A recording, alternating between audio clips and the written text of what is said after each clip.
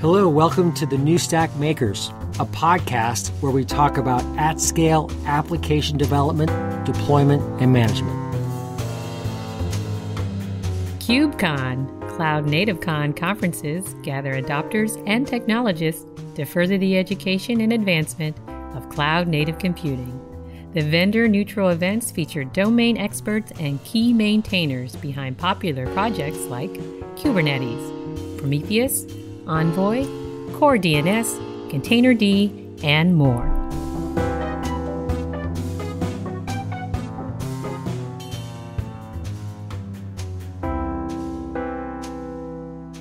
Hey everyone, welcome to a new episode of the New Stack Makers. Today our discussion is about project momentum, essentially in open source projects. How do they grow? How do they develop? And how are they sustained over time? My guests today are four people who are very familiar with this topic. We have Michael Michael, Director of Product Management at VMware. Hey, Alex. How are you? Thank you for having us. You're welcome. Travis Nielsen, Senior Principal Software Engineer at Red Hat. Yes, hello. Good to be with you. Thanks, Alex. Annette Clewett, Principal Architect at Red Hat. Hi, hi, Alex. Thank you.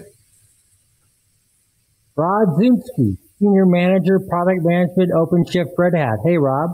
Hey there. Happy to be here. Great. Well, I just want to get right started into the questions here. You know, the topic is how project managers talk about project growth and momentum. Maybe you guys can each tell us about the projects you work on and, when, and in what capacity. Let's start with you, Annette. Mostly on the, the Rook project and um, mostly on, on taking what Travis and others do and bringing it downstream into um, an offering that we have at Red Hat called OpenShift Container Storage. So I done a lot of testing and, and, work upstream, but my, my main deal is, you know, to, to try to get it downstream. And um, we'll talk about it more, but but basically, you know, everything that we've done is first upstream and then comes downstream. So there's there's really, you know, no no no sync issue with that. Um, so I'll let others speak about that more. Yeah, and I think we'd love to hear your perspective about working with customers downstream and how it reflects on the upstream project. So yeah. we can discuss that more as we get into it. Travis, Sure. Yep. So I work on the Rook project. I'm one of the original maintainers and creators of Rook. Um, it's well going on four years already now since since the inception, where we you know saw a need for storage in Kubernetes, and um, and Rook was born. So today, yep, I've still been maintaining the project, um, and we you know we've got features. We bring them in when customers ask for them, when we see a need for them have all sorts of things around, you know, what do people need for storage in Kubernetes? Excellent. Michael, Michael. Uh, from my perspective, I own a lot of the open source tooling and technologies that we have uh, here at VMware in our business unit. Uh, very specifically, from the CNCF standpoint, I own uh, both Harbor as well as Contour. So one of them is an open source uh, registry, and the other one is an open source ingress controller for Kubernetes. Uh, from a product standpoint, I think uh, you know one of the main goals that I have is to facilitate and ensure we have a healthy ecosystem for our projects to grow. Uh, that means a couple of things. The, the, number one thing it means that we have the right contributors and the right set of folks are unblocked in their effort to contribute to the project. So that means that we track all sorts of metrics. You know, how long does it take for a PR to be approved? Um, you know, uh, how is our documentation adequate for a new user or a new contributor to come into our project and and uh, help us in any way whether that's writing documentation fixing a bug filing a bug all of those things. And then most importantly you know what does it mean for our users? Um, how can they contribute? Uh, can they do they have the are we accepting uh, feedback in terms of bugs that they file? Um, are we open them asking for new features uh, do we, how do we prioritize this and do we do that in the open so that everybody has an opportunity to provide feedback and influence that prioritization exercise So all of those things are things that we do in pretty much all the open source projects that I lead, especially the ones that are CNCF, because we're under open governance. We want everybody to have a voice, uh, have an opportunity to have a seat at the table, and most importantly, help us grow those projects. So, Rob, uh, tell us about your project. Maybe you could also talk about goal setting that you do with a project. And, you know, I guess the question is do you always set one, or is it something that uh, evolves organically?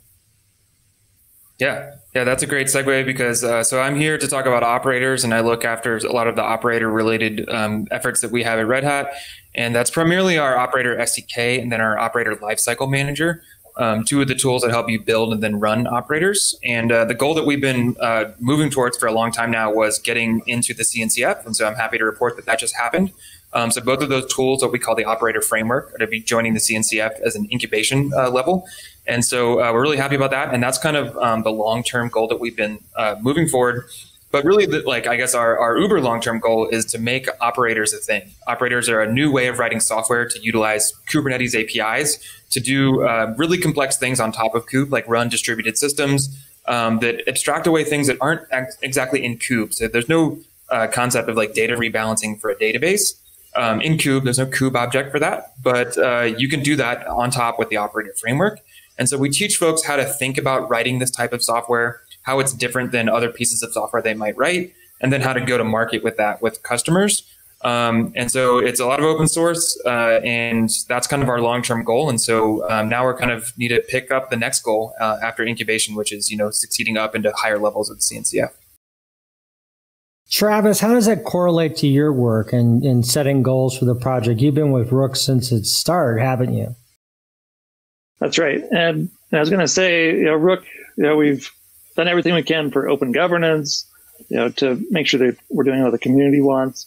And also with the CNCF, you know, we've pro- progressed from you know, sandbox to incubating, and now we're in the final voting stages of, of graduation and actually hoping that that's done by the time this is broadcast at KubeCon. So we're, we're really close.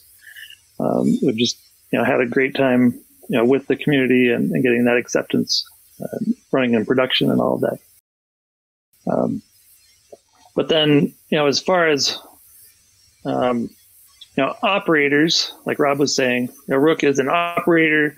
Uh, we do things in the way that Kubernetes needs them to be done. We call the Kubernetes APIs, and you know, respond to a desired state events. Uh, but back to your original question, I'm not sure I answered it yet. Uh, what was that again? Oh, I was just was asking about you know how you set your goals for your projects and um, do you always set one? Is it something that you do organically, or is it something more that you uh, uh, see? Yeah, I mean, is it something you, you see happen over time? You know, setting goals for the project, it, you know, def- it definitely happens somewhat organically, but we also have a roadmap where we say, hey, people are asking for these features. We know we need to work on these other features. So we we try and update our roadmap periodically so that not only do we know what we're working on next, but we, but our upstream users know what, what's coming next and what they can expect and look for. We kind of view these goals into multiple dimensions. One of it is like features. You know, what is it that you want to build? And, and, and like was mentioned for Rook. And by the way, Rook team, hopefully you graduate soon. And, uh, you know, we're very excited about your project. So uh, you guys are, have been amazing as well when we kind of look at this, you know, the first one is, is features, right? What is it that we're going to develop? Uh, and it's very important to have a roadmap that's publicly maintained, that's visible to everybody, so that other users that are interested in a particular topic, you know, know when it's going to come. And if they're interested in bringing that date further in, they can come in and contribute and help us. Um, there, or another company that's interested in investing in a project and attending, taking a dependency, they know when that's going to be uh, aligning. The second set of goals is what I call logistical goals. You know, where do we want our community to be? Like, what kind of documentation do we want to improve? Are there any processes that we want to basically fix up? Uh, I'll give you an example. There's a common in, in infrastructure initiatives badge. Uh, think of this as a best practices on how to develop open source pro- software. And there's different levels. There's the passing level, there's the silver level, there's the gold level. Uh, all are my projects, I want them to advance every year. I want them to move up in that in the in the badge that they get in that C2 badging. So there's when we view goals, I want to make sure that both the health of the project keeps advancing, and those are some goals, and there's also the features goals. So uh, that's kind of how we how we approach it. Annette, I'm curious, you know, how you see projects goals at the downstream, you know, when you're working with customers downstream. And I know that a lot of what is developed upstream is reflected clearly, you know, in in uh, in in what you see with uh, customers and what they're experiencing. Uh, is it clear when the goals are pretty well defined, um, or you know, or, or are the problems kind of a different set of a different context? Um, I, I, would say you know the the the goals are, are well defined, and I was going to say also it's uh, I work uh, also with the CSI team. Uh, container storage interface is really uh, as it matures is really important to day two operations like uh, you know backing up, snapshotting, mirroring that are going to enable um, multi-cluster capability for multiple Kubernetes uh, to to be able to keep state and be able to mirror storage and things like that. But I, I, I think it, you know, the, the goals are clear. I think, you know, there's still some struggles like between, say, CSI and Rook about how um, those two projects integrate and and to, to create essentially a solution, like a solution of snapshot or a solution of mirroring, right? That's a solution, but it's basically two different projects, two different teams. Yeah, that creates. Does that how do how does that reflect when you're talking to customers? Well, you know, they're not as much into the details of, of the projects. They're right. more interested in the solution. So it's it's really up to I guess all of us in the community to, drive it as a solution. Um, where, con- like I said, container storage interface is, is an excellent one because without it, um, and since we totally use it for upstream and downstream, you know, we, we need the features to be there. And those features are very much wanted by at least customers. They're talking about them anyway, doing multi-cluster, having, you know, true backup on Kubernetes. So they, they, they want those, those, those features, but we have to, you know, as a, as a community have to put it all together. Sorry, something I would add to that too is that, you know, while the CSI and Rook projects are independent projects and we fix things independently. You know, Rook is the integration point so that you know, when you install Rook, you get the latest version of CSI with it or whatever version we, we recommend. Mm. So the operator can control that and you can tell the operator if you want a different version, but by default, we will give you a recommended version so that the user, at the end of the day, I mean, the admin doesn't want to coordinate a bit of software. But if he wants to, then we have that flexibility for, for him to configure or them to configure that. Just yeah, I think that's the most important part of using an operator. You, you carry that knowledge that you both have and, and baking it into the project so that not every admin has to be an expert on CSI, for example. You just say, I, I need a solution that works and I trust the open source community to give it to me. Mm-hmm. So when you're develop when you're developing out these projects, you, um, for instance, with operators, you know, what are some of the core, I guess, you know, concepts that you're th- you you've been thinking about since the start that are influencing the project today and helping it move forward?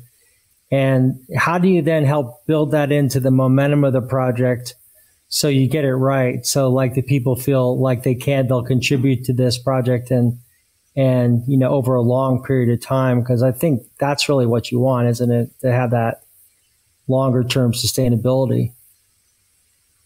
Yeah, absolutely. Uh, yeah. And I'll, I'll, talk about this from a tooling perspective, but then I also want to recognize that it's also on the individual teams that are building operators to, you know, accept uh, changes to their tooling and things like that.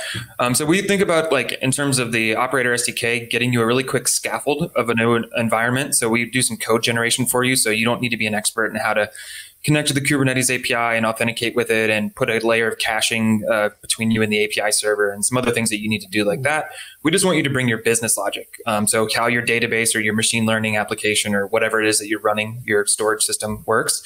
Um, and so we think that's really important for getting folks uh, up and running. And then uh, where we progress past that is getting things like all the advanced webhook support.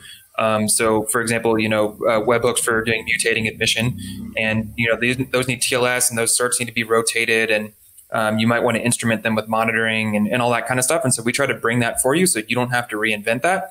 But then it's folks like uh, Annette and Travis that then need to go implement that stuff and adapt the webhook for exactly what their operator needs to do how it needs to maintain high availability, et cetera. Um, so it's kind of a give and take there, and that's where you have to work with the community to get it done. Hmm. So, how have you seen that develop, Travis and, and Annette? Yeah, I was just going to say, I mean, with Rook, yeah. yeah, it's been very critical that you know with the CRDs, for example, the CRDs are the custom resource definitions is where the custom custom customizability comes in and the admin can change the settings. So if if the, we aren't exposing enough flexibility, you know, we we welcome community members to come and oh, let's add a new setting to the to the CRD, or let's do this a little differently, so you can control it through the operator. And yeah, and we've had uh, over 250 individual contributors now in the Rook project over time. Of course, not all of them are active um, currently, but there have been a lot of people contributing to say, "Hey, I want this a little better." lots of different companies contributing that way. Yeah. And, and I would say downstream teaching uh, customers about operators, especially if they're very knowledgeable, for example, using Ceph in a, in a native form. And it's hard for them to understand that they don't need to go into Ceph and change anything, that we've already turned the knobs. The operators mm-hmm. turn the knobs. And actually, it's detrimental for them to go in and try to change the knobs. So uh, Travis is absolutely right that you know we we need to take the feedback if needed, make the change so the operator turns the knob, not the not the the customer who may be very Ceph knowledgeable, but we're asking them to basically you know trust us. so, what happens? What happens when they twist the knob? What are some of the things? Well, it depends which knob they twist, but if if it if it if the operator reconciles it, it could just change it right back. Mm. Yeah. So, so Michael, in, in, in your in your projects, um, you look at you know Harbor is one of the projects. Harbor's been a pretty popular project uh, in, in, the cloud native uh, ecosystem. How how did the momentum change in that project? What did you see happen in the project that changed the momentum, or you know, or how does momentum change overall for projects when you're thinking about it? Is it something you see from the start or, you know, what are the, you know, what are the various patterns that, that you've uh, experienced and seen? Yeah, I kind of, uh, what I've seen not only with our projects, Harbor, Contour and others, but also overall in the community is a kind of two inflection points that kind of change the momentum. The first one is when the community realizes that the project feels a need, it feels a void, it does something that nobody else did before, or maybe invented a better mousetrap, does something a lot better. That's that's kind of the first inflection point. But in order for you to achieve that as a project, enough enough people in the community need to be aware of it. So how does that happen? And maybe one of it is that it grows organically. You know, you show up in some Kubernetes community meetings, you do road shows, you go to events like uh, conferences, and you talk about your project. And then you gain momentum that way. The second way is by basically being part of the CNCF and advancing through the, through the ranks, uh, sandbox, incubation to graduation. So as as you get into CNCF and you're getting that initial stamp of approval that you know your project has the right governance, the right technical team in place, it meets certain requirements that the CNCF has in place for you to advance um, within the ecosystem. That you know that's the second inflection point so um, what i've seen is throughout both of those points is that you get a flurry of additional eyeballs into your project and those eyeballs could be uh, developers that are coming in and contributing to your project and advancing your vision or it could be users of your project that are coming in and giving you new feature ideas new areas where you can uh, influence the direction of the project and the roadmap or or they're helping you in other ways, like you know, chop wood and carry water, as we say in the Kubernetes community. You know, whether they're helping with testing, documentation, uh, filing bugs, uh, all the activities are maybe are not as uh, sexy as writing code and becoming a maintainer. So when you're thinking about that momentum in the project, a lot of it has to come down to consistency, doesn't it? and uh, and how consistent the project is in its overall uh, um, structure. Yeah, absolutely. I mean, a lot of a lot of um, users are looking at the project and they're thinking about, hey, I see that project feels a need, it feels a void. Uh, you know, um, can I make a bet on it? One of the things first things they want to see is is there what's the overall health of the project is there consistency in contributions commits prs over a long period of time i don't want to make a bet on a project that's going to be unmaintainable in half a year or a year from now i don't want to make a bet on a project that doesn't have that forward looking trajectory and momentum so yes consistency is very important so rob how have you done that with uh, you know with your projects because operators are fairly new but they're also very popular. They're like becoming the hotness. Yeah. So in the tools themselves, we've tried to uh, make sure that you know we've actually just launched some new uh, websites for the open source projects instead of just documentation living in GitHub. Um, and so we want to kind of talk about how uh, we have two tools, the SDK and the Lifecycle Manager how uh, they're documented separately and you know they have different maturities um, and uh, roadmaps and backlogs and things like that. Um, but then they also document how to use them together. Now our framework you don't have to use them together but that is kind of where you get some consistency is when tools are introduced on one uh, you can use them in the other and we think that's really powerful um, and so then there's um, kind of how each operator is documented uh, and communicated about what it can do. And so what we did really early on is establish a maturity model for operators or capability level. Um, so it goes from one to five and talks about things from like this operator handles basic install all the way to um, it's kind of like the smartest thing you've ever seen auto scaling vertically and horizontally. It's got full um, monitoring and automation and remediation. Um, and so we try to communicate to folks where operators fall on that level. And we kind of have a way of thinking about it that is good for the developers to know where to improve, but then users uh, kind of how to bet on that and how to think about it. Excellent. Annette, when you're looking at projects, you know, how, how, you know, how do you tell if a project is, you know, healthy or not healthy? And is it pretty evident when you start to, when you start to, you know, get involved in it, and, you know, from a downstream point of view? Well, I don't, I don't have a lot of experience with a lot of different projects, um, but in terms of what, what Red Hat has decided to put, you know, effort into, I think that that's certainly a sign, right? If, if a company like VMware or Red Hat puts that, puts time into that project and you know investigates and then literally starts using it as a component in a particular solution, um, that certainly gives the project, I think, more notoriety as well as just more people want to contribute, right? It, it's it's a um, it's cyclic in terms of you know people are interested in things that that are actually being used, and and you know the other people outside of the community have an opportunity to to actually you know try and, and test. So mm-hmm. so I, I I think you know eventually if if if a project isn't picked up and, and somehow and, and and maybe you know maybe not but in some way uh, commercialized in some way, it seems like eventually, you know, uh, that's going to be difficult to sustain. When you're thinking about the overall structure of the community itself, you know, open source communities have been defined in similar ways for a long time. And you all are, uh, you know, have experience in open source projects. What are the hierarchies that you you find effective? How are they changing? In how are you seeing kind of efforts to make them more inclusive? Uh, maybe we could start with with you, uh, Michael.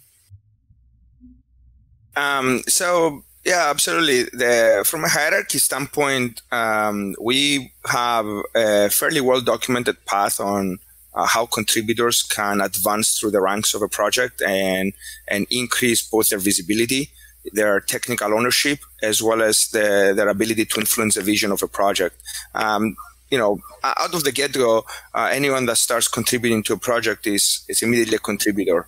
Um, so they may have reviewed PRs, uh, authored some PRs of their own, and um, you know we, we consider them a part of the project. They have a voice in the project. They attend community meetings. They attend our uh, meetings where we do prioritization of the backlog uh, all of those things. Then in an effort not to have a fairly complicated ladder uh, the next step is becoming a technical lead so maybe you're an expert in a specific area of project. Um, you know, and in Kubernetes, for example, they have the different special interest groups, and within each of them, they have technical leads think of it that way. So, for example, deployment, um, deployment mechanics. That's an area where you can have a technical lead, like someone that's responsible for the operator of a project or a Helm chart or anything else that does with deals with lifecycle management. Um, so, so we have area owners that become the technical leads, and that's basically signaling to the community that if you have a question in an area, this is the person where you go to if you want to author a PR or architect something new in that area, this is the person that you, you want to work on on a one-on-one basis. And then the and then the third step uh, is becoming a maintainer. This is the stamp that you get in the community where it shows that you are a, technical leader of the project. You're you have uh, stake in the project's vision and direction. Uh, you have voting privileges on anything that's governance related to the project. So uh, from from our perspective, we want to keep it simple. Three stages, uh, and we advance folks based on their contributions to the project. From an inclusivity standpoint, obviously, our goal is to have a diverse ecosystem of contributors, users, uh, and, and, maintainers. And we factor that into our decision. We, we value diversity. We want to make sure that we promote inclusiveness. So uh, in everything that we do, from our code of conduct to how we operate within the project, uh, inclusivity and, and, and, and being good citizens and good represent, representatives of the project is very important to us. And CNCF, with its um, kind of standard practices for code of conduct and things like that, I think has done a really good job in uh, raising the awareness of this issue and kind of putting its foot down when it sees any sort of bad behavior. Um, so I think that that's probably one of the most successful parts of Kubernetes, obviously, other than you know it, its popularity for actual infrastructure deployment. How do you see it, Annette? You know, I'm not as involved uh, as as Rob and Travis and Michael with day to day work in the project, but um, you know, I, I, think we, we still have diversity challenges, especially in gender. Um, uh, there's no doubt about that. And uh, so, you know, we just, I think, continue to try to inspire more women to come into this, both on, on the open source side and, and the, you know, eventually, you know, like I said, getting to a commercialized product. But um, mm-hmm. so that's still a challenge. Uh, for the Rook project, I was going to add on to it, similar to what Michael said for, for their project. A Rook has different levels of um, engaging and advancing kind of in the community. So you're a contributor, then you can approve things. So if you approve a PR, then a maintainer can, can merge it. And then the maintainers are watch, watching the overall project. And maintainers also will typically focus on one of our specific storage providers because there are multiple storage providers in Rook from Ceph and EdgeFS and Cassandra and, and, a few others. So we do have specialties within the project um, where yep, you're a maintainer of that part of the project or overall. Um, and so you can, but it's definitely, oh, and there's also a steering committee. So our steering committee says, now this is our voting body and only one member from each company can participate. Um, so if some were, if I were to join the same company as another member of the committee, then one of us would have to drop from the committee, things like that. For the governance, yeah, the CNCF has really done a good job though of, of overseeing this governance. So it is open and, and inclusive. Great. Um, when you're thinking about documentation and tools and how they play a role, I'm al- I'm always curious about documentation. And Annette, I'd like to come back to you. I, I'm just curious about, you know, what it must be like when you're working with downstream customers, how crucial that documentation must be. Yeah, both both the upstream documentation and then eventually downstream. Um, yeah, it's it's very it's very crucial, and it's it's relatively complicated as well because um, uh, in particular, like with Rook and then the the CSI, there's just a lot more capability with the product now. Um, so you have a lot of different um, areas, you know, that, that need to be documented. And, you know, it, it is, it is in some cases, um, difficult to keep up because we also are revving. Um, you know, if you look at, um, I think Rook, Travis can, can speak to it, but I think, you know, you're seeing a new version every, what, four months or so. Um, and, and sometimes there's a lot of new capability there uh, to, to keep track of. So it's not only just, you know, document it once and then go away. You have to keep changing uh, the documentation to keep up with, with the features and, you know, what you do with those features. Like adding, you know, something to a CRD might have a certain um, capability, but if you don't know to add it, then, you know, it's not there. Travis, this must then can create a lot of time spent uh, you know, helping people out about specific questions if the documentation's not there. It seems like that's one of the the bigger, larger issues that you face. Kind of the documentation isn't quite up to isn't isn't answering their questions because you'll just get you you, you yourself could be finding a, a lot of time spent just answering questions that you know that might have been in documentation that that that could be in documentation or or otherwise. Yeah, absolutely. And in Rook, we really from the start, you know, really spent some time on the documentation. You know, here's our quick start guide, just get up to speed quickly, and then also here's the kind of the deep dive documentation with all the individual CRD settings, and you know, and making sure that each version we release is updated with the new features and still being able to go look at older versions of the documentation as well. So we've got version to documentation. So people can see, oh, I'm running this version. I can look at this set documentation. And then when people have questions on Slack or, or wherever, we can, you know, one of the most common things I'll do is just send them a link to the documentation. Hey, this should answer your question. That's an answer your question. It saves me a lot of time as a maintainer, for sure. Yeah, I, I want to add one one thing to that. So we, we do something similar. Uh, obviously, in most open source projects, you know, our goal is if your documentation is not ready, you don't get a new release out. Uh, so it's very important that you know the community, your downstream users, they have uh, access to what the new features you have, how to use them. Uh, all of those are are important part of the community.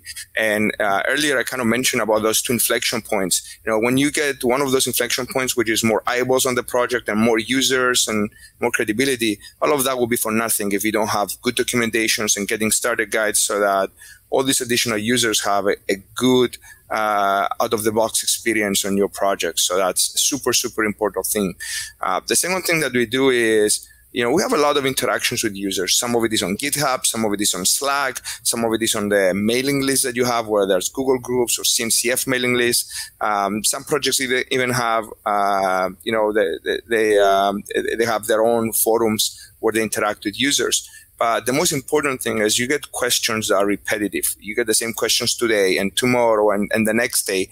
Uh, what we're asking of our teams is to keep track of all those questions. And the ones that get asked a lot, then that means that you have a gap in documentation. Maybe the documentation is there and it's not easily accessible or or users cannot find it easily, or maybe that content is missing, or it's not, uh, or it's not accurate, or or or it's not uh, conclusive. So we want to we always make a conscious effort to update that to reduce uh, those questions. Maybe some of them will be faqs some of them will be straight up documentation. So it's very important as a project to keep a pulse into what the community is asking for and address it. When you're looking at these times, Rob, in terms of documentation, has it become more important in these times of COVID, um, or or is it just the same importance, or do you see more attention being put to it, or less, or any any feedback about the times and how they're affecting the way people are accessing the information or how it's getting developed?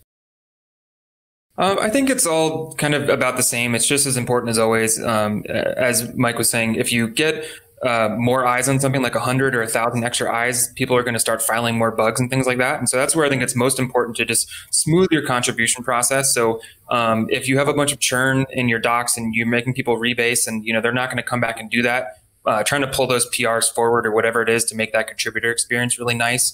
Um, and if you've got CI systems that are going to run and you can't see the logs for them, for example, that's going to be really hard to diagnose, obviously. Um, so I think it's like all those systems to save everybody time. I mean, uh, depending on you look at the COVID times now, people either have more time on their hands or less time on their hands, just depending. Um, and so that's going to balance out. You just want to make everyone's life as easy as possible. What are the tools you all are using uh, now? Like, and how how how are, how are you helping manage? You know, what are the tools you're using to manage growth and momentum? And I'd love to just hear kind of a general idea of like your overall growth, your overall momentum of your of your various projects. I'm going to start with you, Rob. Sure. Um, so we kind of track um, both sides of our framework um, as kind of separate projects since they are. Um, and we do a lot of things um, just looking at overall like forks of the SDK is a really good way to measure growth for us because um, folks are using that as a base to build off of. and then, you know, uh, like uh, Michael was saying, you know, the the stats around PRs and how long they stay open and new issues and things like that are always good to get a pulse on. Um, we tend to look at our community pretty heavily too, and so um, how many folks are showing up to the meetings, um, you know, mailing list traffic and like the types of questions that people are asking um, is really good there. And then like on the tool side, in terms of, like I mentioned, we just got these new websites up. Um, so we're using Netlify to host and build those, and that's been a really great tool for us. Um, you know, one of those things uh, for infrastructure that's not free. Uh, so Netlify is. So if you've got a group of folks, you know, someone's got to pony up the bucks for that. That's where the CNCF can help some um, and standardize some of that process. But we found that just a lot of open source tools, um, you know, different CI systems uh, work really great. And the Kube ecosystem is pretty good about these things. Um, there's a lot of uh, systems out there that are for free. Um, so yeah, we try to make things really easy to do uh, and run, and then track that actually, you know, um, gives us growth in terms of users, people using our framework uh, overall. Travis? Yeah, so I think. Oh, Michael. Go, oh, go ahead, go ahead Michael. Are you sure? All right, thank you. So, I mean, what Rob said, we track a lot of the same metrics. We see how many attendees to get in our community meetings, what's the engagement level of those attendees, and then you know uh, for the projects that are in CNCF, there's a tool called DevStats that you can get really good in- introspection into your project from, you know, number of PRs are being filed, commits, how many companies are contributing to your projects. And one of the things that we do in all of my projects, we, we, we track not only the health of the the main contributors of the project, think of these like maintainers, tech leads, but we also track how many net new contributors are we getting? And we can kind of classify them into two buckets. One of buckets is, you know, the occasional person that files one PR and kind of goes away. Maybe they had a need or found a documentation bug. They'll file it and then maybe they won't make more contributions. And we also have the second category, which is the individuals that filed more than five PRs in a time frame. Uh, the time frame could be six months or yearly. And those are the folks that we want to cultivate. They were interested in the project. They had a more than uh, minimal effort into the project. So filing five PRs is not a small feat. That means they were interested in the project. We want to make sure we encourage those and we increase the number of contributors. So we want to increase how many contributors uh, make more than a meaningful contribution to the project. We want to grow them and we want to learn from them so that we can get more of those. Um, and then there's also all sorts of other statistics that, that we track in terms of, you know, um, you know, the growth of the project, like the standard stuff. How many stars are you getting? How many forks are you getting? Some of the things that people put in a presentation when talking about the project, we want to make sure that those also are, are growing. Uh, GitHub also gives you, you some cool statistics, like, you know, for example, how many downloads did you get of your latest release? We track that. So for example, when we release version 1.x and version 1.x plus one, we track one versus the other. How many downloads did you get on the first month? Does that mean that individuals and users are upgrading or not? Or are they waiting for the dot one release of that, of the point one? Uh, or how many unique new visitors do you get on GitHub? We also look at those because they give you, um, when you collectively look at all these metrics, they give you an accurate picture of the health of your project. Yeah, and as far as the Rook project, uh, you know, similar metrics again that we track. I feel like we we do things a little more organically on the Rook project. We um, focus a lot on the engineering. You know, how are our PRs doing? Are we keeping them up to date? Making sure uh, people are getting the feedback in a timely manner so that they can update them and, and we can get them merged before they go stale. You know, when people open issues, making sure that, that we're responding in a timely way. Um, anytime there's some issue that goes stale, I think it's reflection that, oh, either, you know, have we done our part to respond to those issues and PRs, um, or are, are we not? Because if we're not doing our part, then the community will, will wither and, and not be as interested. So proactively tracking, you know, are we responding to issues is kind of a key metric that, that I like to keep track of.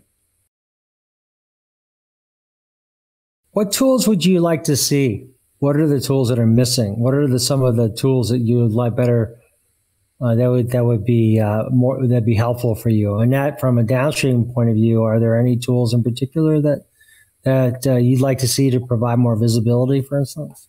Yeah, I don't know if it's a tool, but um, I was thinking when you were chatting about it. But what one one of the things I think, and this would be be for you, Rob, but you know, we we have this sense of you know operators being connected or disconnected. So an operator is something that continually sort of keeps track and, and updates itself. And you know, the the idea is you you don't have to worry about it; it'll take care of itself. Well, that works well as long as you are connected, meaning you you have access to the internet. But if you're not, then you become disconnected, and all that sort of doesn't work so well. So there are ways, um, and, and Rob's very familiar with them, of making um, making that a much better process. And we do, we are seeing a lot of disconnected use of, of Kubernetes. So I, I, just would like to see as a tool standardization, not not just for Red Hat operators or such, but for community operators that they they follow certain guidelines, and and possibly that they do testing in environments where they're not connected because I can tell you it's, it's some really bad days trying to get it to work. Mm. Yeah, and I would expand on that. I think just uh, testing in general, I think it would be really great as if um, the CNCF sponsored some centralized testing infrastructure for all of the certified kube distros. Um, so that you could say, go test this operator on all these different types of clusters because um, the connected disconnected is one of them, but all the different distros have like different authentication requirements and how they plug into the different clouds and things like that. And so if you're trying to support an operator on all of them, um, it just becomes this giant matrix to test. And, you know, every company that's producing a commercial version has all this internally, um, but we could share probably a ton of it in the open source and that would be really powerful, but expensive, which is the problem. Michael, uh, Michael, what kind of tool would you like to see? What are some of the tools that you are you you see are missing? Um, we're not seeing a lot of uh, need from a tooling perspective. I think that you know either homegrown or organically, you know, source some tooling that that basically made our lives easier. Uh, but, you know, a, lot of times we kind of look at bigger projects like Kubernetes and look at the processes and the tooling they have uh, to make our lives easier because we learn from them. You know, how do they deploy the documentation? How do they version things? How do they keep track of uh, project health? You know, kind of learn from them and you know either use some of the tooling and processes that they have. So nothing kind of pops up to mind that that we need today as a project.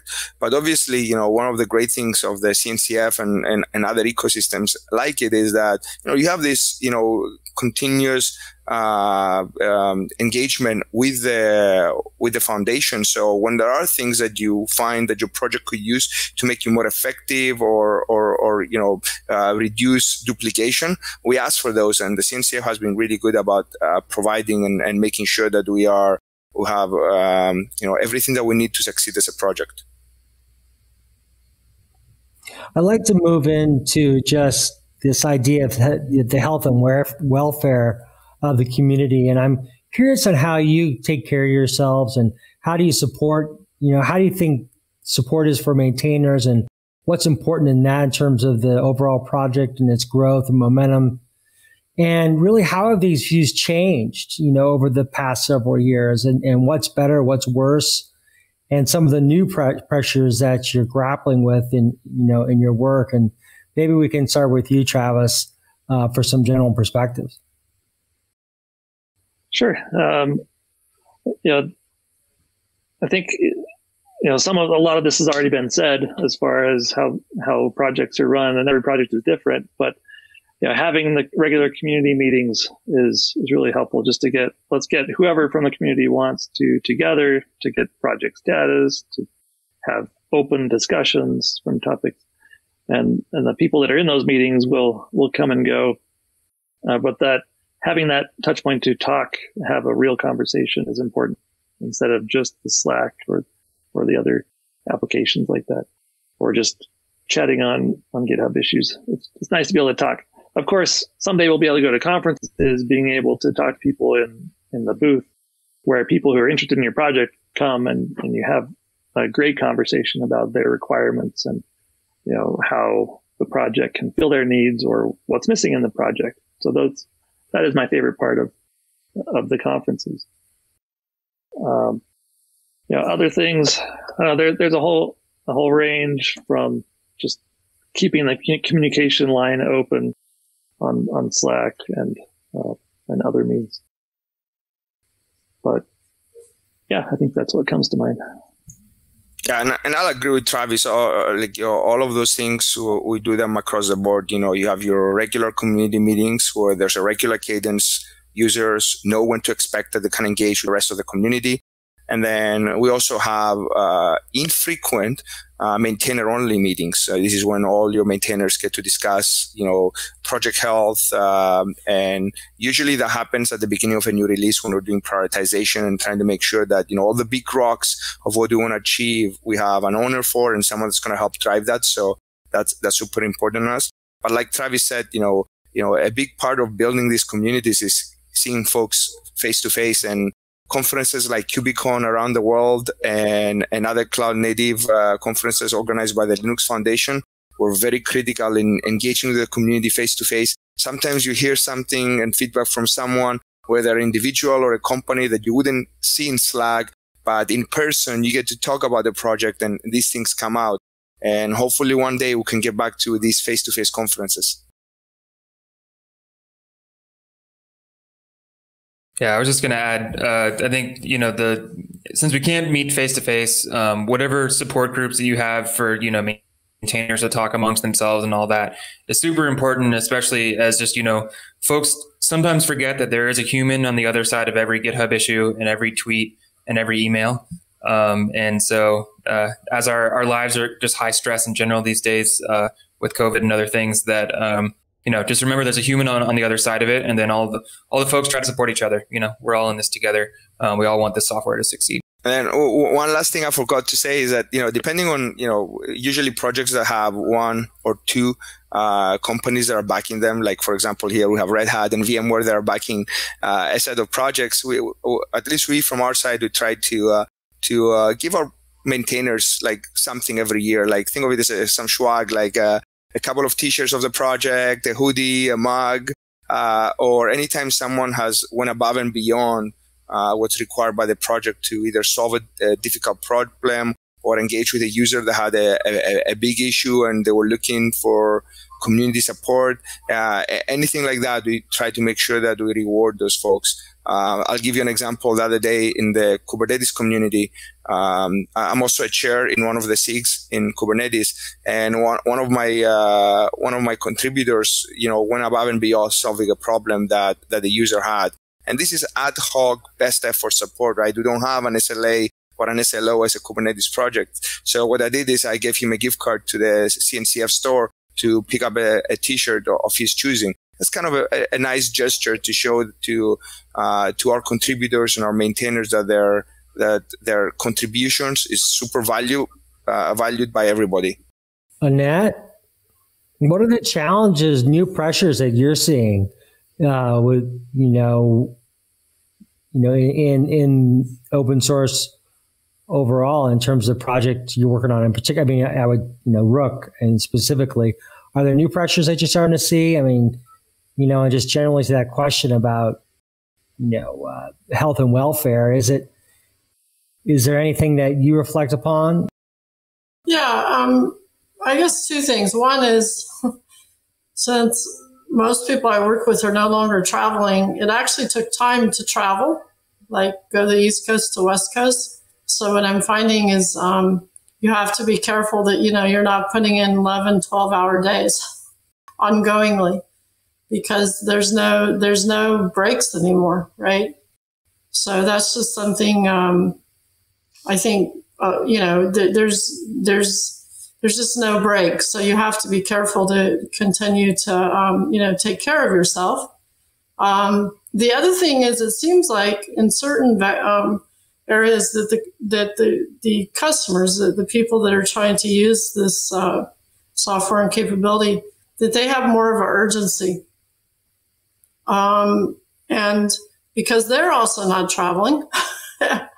um, I think you know we're we're seeing that there's some of these features that we're developing are being called for quite quickly, and um, I'm not sure how that's going to work out, but I think you know there's there's there is definitely some some um, urgency with with getting some of these features available.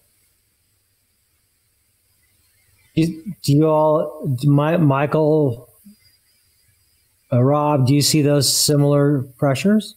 All right. Uh, yeah. Go ahead, Rob. Go ahead, Rob. Sorry. Um, yeah, I would say that folks just have such a high bar for user experience these days that they expect software just to be very high quality um, the software, the documentation, the release process. You know, we're all humans, and not everybody gets everything right the first time.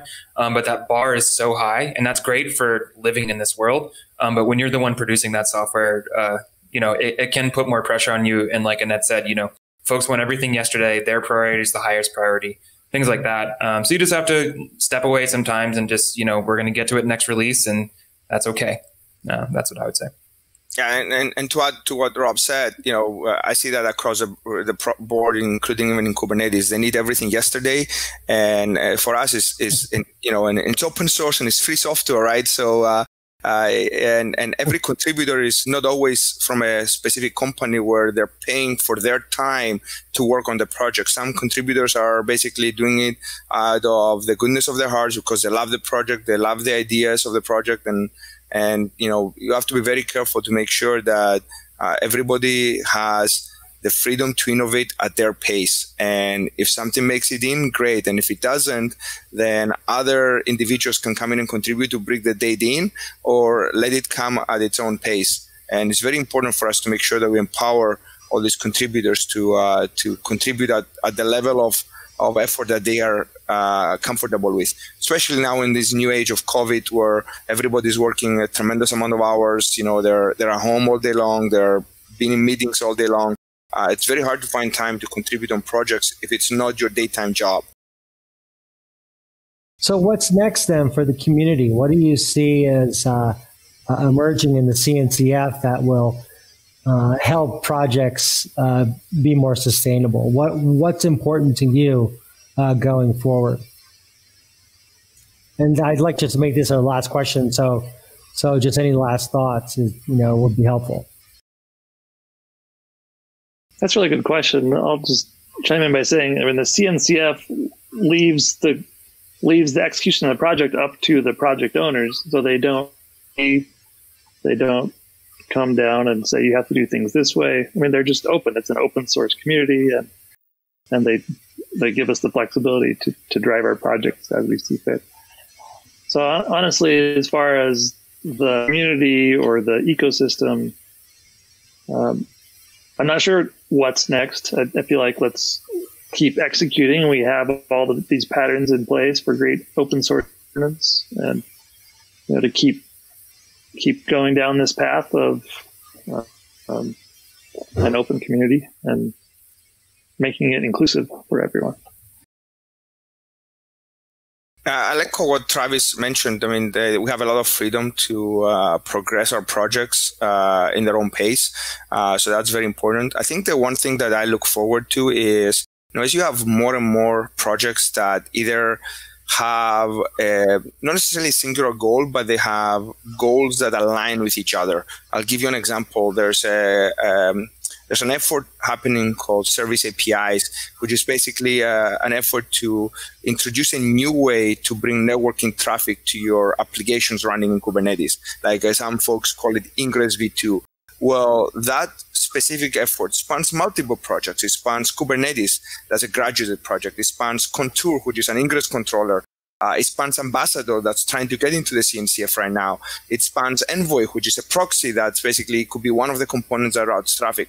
So one of the things I'm looking forward is, you know, as you have the special interest groups at the CNCF level, for example, networking special interest group, I'm looking forward to kind of joining a lot of these efforts together. So everybody develops on, on an open, uh, on an open specification and we align our efforts to produce the best type of service APIs that we can, uh, taking into account in all of the different pieces that each project brings in. I think that's the beauty of a foundation that you can have multiple projects coming in together to contribute towards a single goal.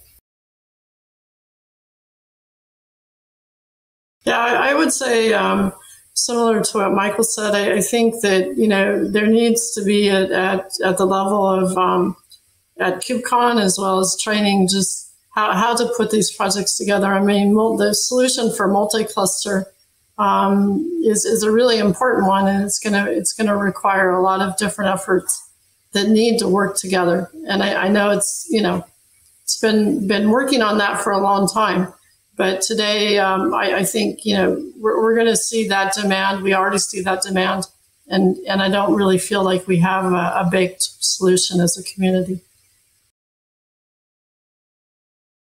Yeah, that's a good point, and that's the holy grail of Kubernetes, and so we need to get there as soon as possible. Um, I'll just close out by saying, uh, as everyone else on the call is already kind of working in uh, CNCF projects, uh, ours are new to the CNCF, and so we're just excited to, you know, we've been uh, trialing uh, the enhancement proposals that are Kubernetes style for a while, but you know, we're going to make that official with our join, um, as well as you know, we've had community meetings, but we're going to adopt a lot of the CNCF infrastructure for doing that, and just uh, make sure everybody that can participate wants to, and all that type of stuff. Um, so nothing too much is going to change for us, but it's just going to solidify it a little bit more. And so we're pretty excited to uh, kind of get up to snuff on how uh, CNCF does that. Well, I want to thank you all for participating in this discussion about project momentum and open source communities and open source projects. I want to just go around the horn and thank everyone. Michael Michael, Director of Product Management at VMware. Thank you, Michael, for being here. Travis. Thank you. You're welcome. Travis Nielsen, Senior Principal Software Engineer, Red Hat. Thanks, Travis. It's been great to be here. Thank you, Alex. Annette Clewett, Principal Architect at Red Hat. Really appreciate your perspectives, Annette. Thanks, thanks for joining us. Yeah, thank you. And Rob Szumski, Senior Manager, Product Management at OpenShift Red Hat. Thanks for joining. Absolutely. Thank you. You bet.